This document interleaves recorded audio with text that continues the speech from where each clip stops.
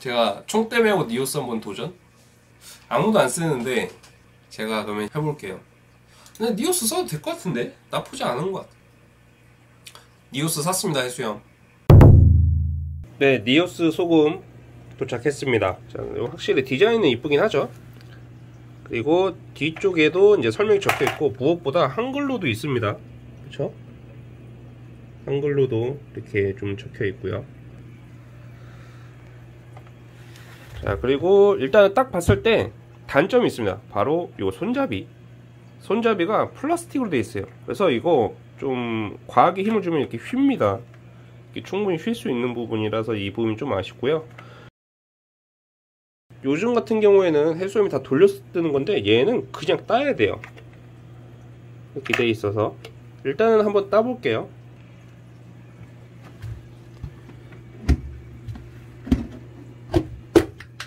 자 이렇게 여기도 그냥 레드시랑 똑같이 되어 있네요. 그쵸? 이렇게 봉투로 쌓여 있고.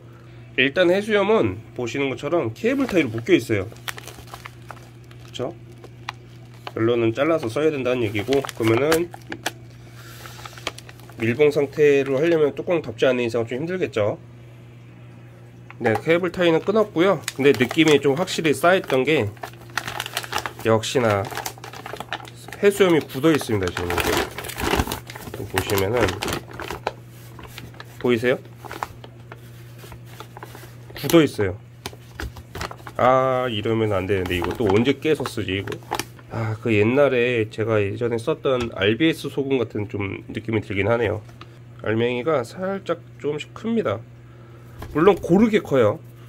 뭐 어떤 건 크고 어떤 건 작고 이런 느낌은 아니고요 그 프라이스 해수염에 비하면 조금 입자가 큰 편입니다. 이 일단은 첫 해수염인데 니오스에 이렇게 또 실망감을 바로 주네요. 긁을 때는 이런 걸로 그냥 대충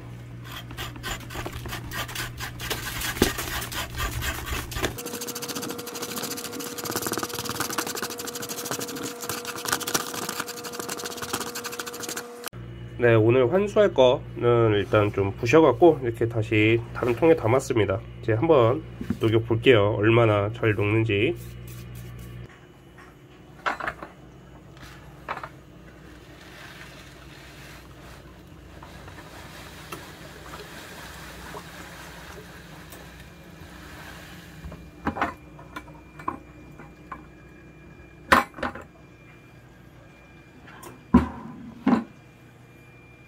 자 이게 다 완전히 녹는데 얼마나 걸리는지 한번 시간 좀 체크해 볼게요.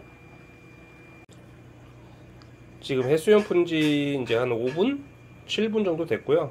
거의 다 녹았습니다. 확실히 좀 빠르게 용해는 되긴 하네요. 그리고 뭐 침전물도 아직은 없는 상태이고요. 이 상태에서 1시간 정도만 더 용해하고 그 다음에 환수해 볼게요.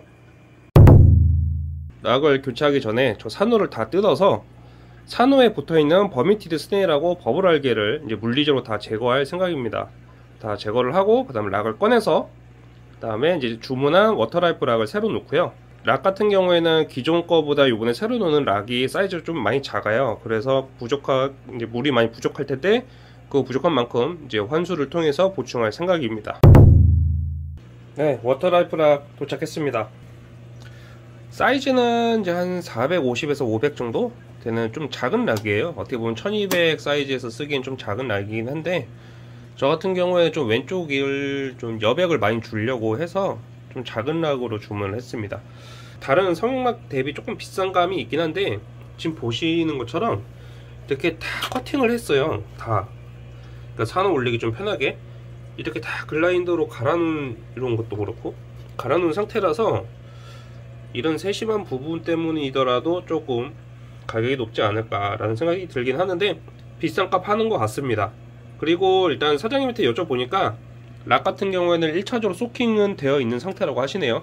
그래서 저 같은 경우에는 소킹을 따로 하진 않고 그냥 수돗물로만 세척을 하고 놓도록 하겠습니다.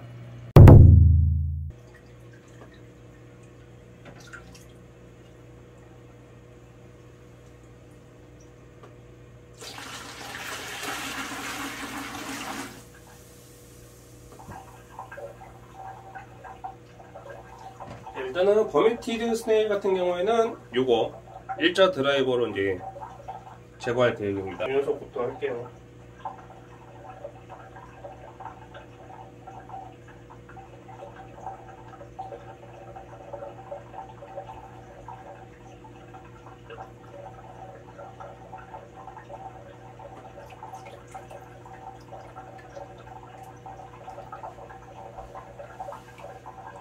지금 보시면 얘도 꽤 크죠? 유만합니다. 그쵸? 근데 얘도 이 뒤편에 이렇게 많이 달려있어요. 그래서 이걸 다 제거할 생각입니다.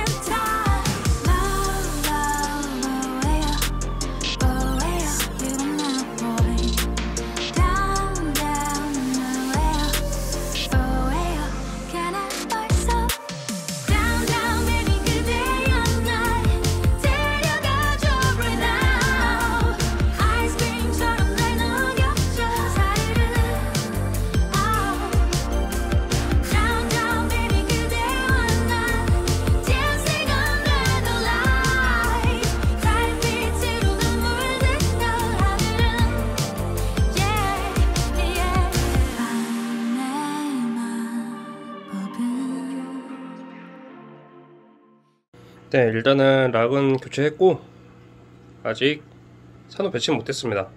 지금 다 건드려 나가고 이렇게 치, 침을 엄청 흘려요 지금 이거 보시면. 그쵸? 얘도 그렇고 막 저기도 난리 났습니다. 지금 다 침 흘리고. 일단 최대한 덜어냈으니까 이 상태에서 이제 락에다가 산호 배치해 볼게요. 이제 하루가 지났습니다 보시는 것처럼 이제 왼쪽에는 여백을 많이 줘갖고 좀 시원시원하게 뺐습니다. 자 그리고 산호들은 보통 오른쪽에 많이 몰았고요. 어, 일단은 락 교체한 지가 고작 하루밖에 안 지났기 때문에 아마 뉴트리언트가 좀 오를 수가 있어요. 왜냐하면은 어떻게 보면 기존 락이 결론은 여과제 역할을 하기 때문에 여과제가 통으로 바뀐 거라서 아마도 질인산염이 좀 오르지 않을까 싶습니다. 그래서 지금 생모기 같은 경우에는 제가 매일 투여는 하고 있는데 좀 당분간은 뭐 좀 격일로 준다든가 아니면 횟수를 좀 줄인다든가 해서 좀 가감을 해야 될 것 같고요. 어 그리고 락을 교체하다 보니까 확실히 이제 빈 공간이 좀 많네요. 그래서 그 부분은 이제 추가로 산호로 봉달을 해서 채울 생각입니다. 아 그리고 이제 니오스의 수염은 제가 어제랑 오늘도 또 환수를 할 건데 일단은 뭐 크게 뭐 모난 건 없는 것 같아요. 그런데 뭐 좀 단점으로 보자면은 확실히 해수염을 좀 오랫동안 용해를 하다 보니까 좀 탁도가 좀 있습니다. 그러니까 한 30분 내외로 환수를 했을 때는 그러니까 환수물 자체가 깨끗한데 1시간에서 2시간 정도 지나니까 조금씩은 약간 백탁기가 좀 보이더라고요. 어 그래서 아마 좀 환수를 할 때는 좀 빨리 용해를 해서 환수를 해야 되지 않을까 싶습니다. 네, 그래서 이번 편은 여기까지 하고요. 다음 편에는 이제 이 락교체 했으니까 또 사이클이 새로 돌겠죠. 그 부분도 다시 촬영을 해서 업로드를 하겠습니다. 감사합니다.